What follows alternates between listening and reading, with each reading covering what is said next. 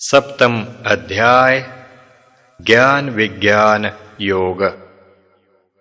प्रकृति का जो बोध है, वह ज्ञान विज्ञान। सृष्टि मध्य जो रम रहा, उसका बोध ज्ञान। भगवत भक्ति के साथ साथ, ज्ञान भी मोक्ष प्राप्ति के लिए आवश्यक है। ज्ञान दो प्रकार का होता है एक अध्यात्म ज्ञान दूसरा प्राकृत ज्ञान या विज्ञान। इस अध्याय में भगवान द्वारा इन दोनों का वर्णन किया गया है। श्री कृष्ण भगवान अर्जुन को कहते हैं, मैं तेरे लिए विज्ञान सहित ज्ञान को संपूर्णता से कहूँगा, जिसको जानकर फिर और कुछ भी जानने योग्य शेष नहीं रहता। जहाँ तक अध्यात्म ज्ञान की बात है, भगवान कृष्ण कहते हैं कि हज़ारों मनुष्यों में कोई ही मनुष्य मेरी प्राप्ति के लिए यत्न करता है।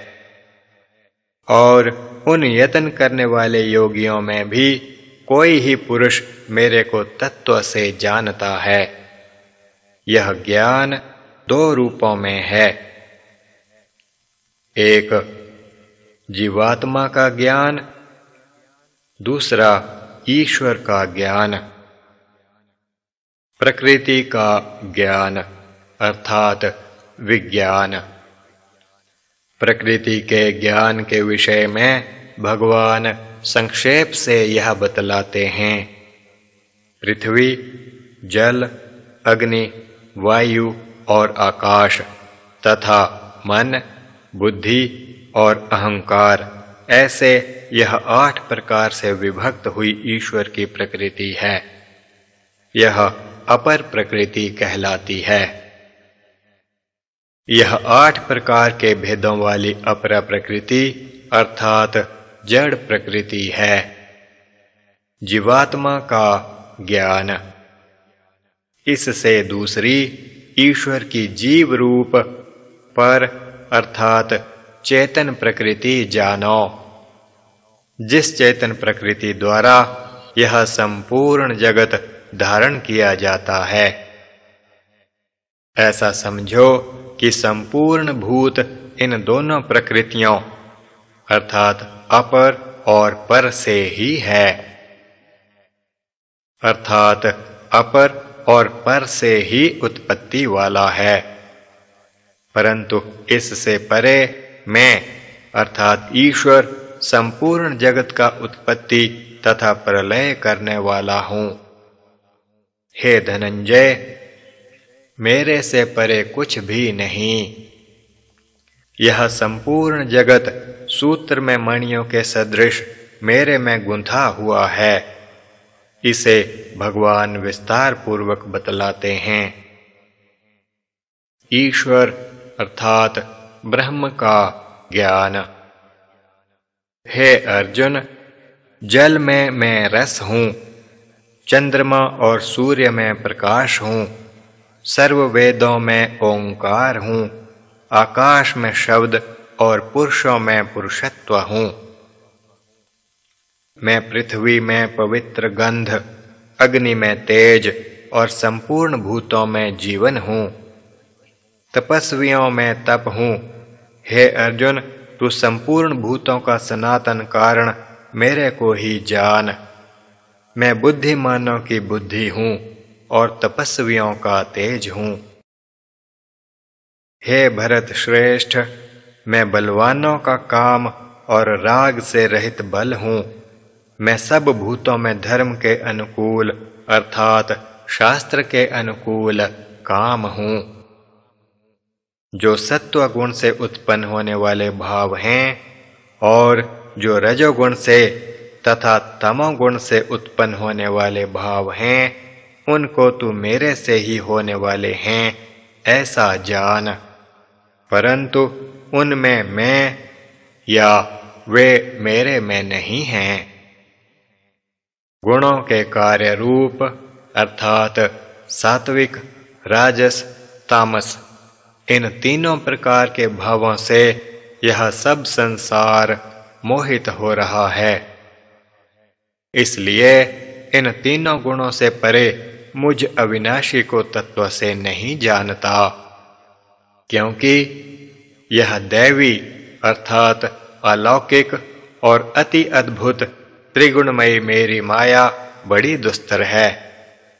परंतु जो पुरुष मेरे को ही निरंतर भजते हैं और मेरी शरण में हैं, वे इस माया का उल्लंघन कर जाते हैं। ईश्वर भक्ति। हे अर्जुन, उत्तम कर्म करने वाले चार प्रकार के भक्त जन मुझे भजते हैं। एक, आर्त। दो, जिज्ञासु। तीन अर्थार्थी चार ज्ञानी। उनमें नित्य मेरे में एक ही भाव से स्थित हुआ अनन्य प्रेम भक्ति वाला ज्ञानी अति उत्तम है, क्योंकि ज्ञानी को मैं अत्यंत प्रिय हूँ और वह ज्ञानी मेरे को अत्यंत प्रिय है। वे सब ही उदार हैं, परंतु ज्ञानी तो साक्षात मेरा स्वरूप ही है, ऐसा मेरा मत है, क्योंकि वह स्थिर बुद्धि ज्ञानी भक्त अति उत्तम गति स्वरूप मेरे में ही अच्छी तरह स्थित है। बहुत जन्मों के अंत में तत्व ज्ञान को प्राप्त हुआ ज्ञानी सब कुछ वासुदेव ही है, इस प्रकार जान मुझे प्राप्त होता है। ऐसा महात्मा दुर्लभ है। अन्य जन अपने स्वभाव से प्रेरे हुए, उन उन भोगों की कामना से भ्रष्ट हुए, उस नियम को धारणा करके अन्य देवताओं को भजते हैं। परंतु जो जो सकामी भक्त जिस जिस देवता के स्वरूप को श्रद्धा से पूजना चाहता है, उस उस भक्त की मैं उस उस ही देवता के प्रति श्रद्धा को स्थिर करता हूँ।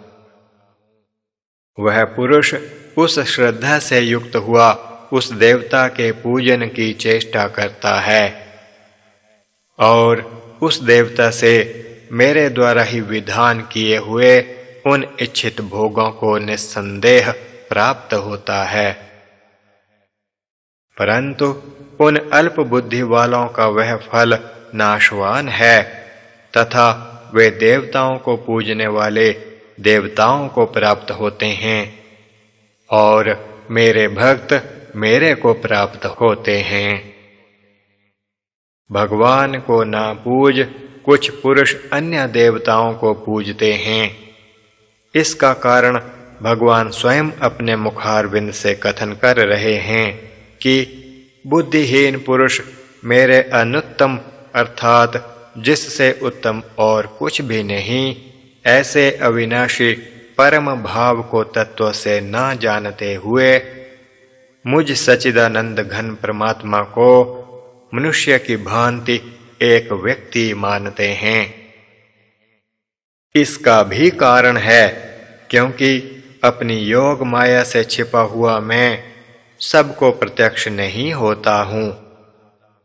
इसलिए यह अज्ञानी मनुष्य मुझ जन्म रहित अविनाशी परमात्मा को तत्व से नहीं जानता है।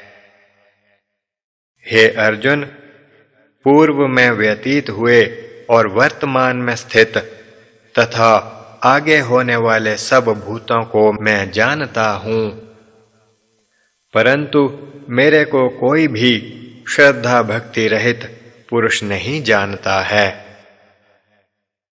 हे अर्जुन, संसार में इच्छा और द्वेष से उत्पन्न हुए, सुख दुख आदि द्वंद्वों से मुक्त हुए, और दृढ़ निश्चय वाले पुरुष मेरे को सब प्रकार से भजते हैं।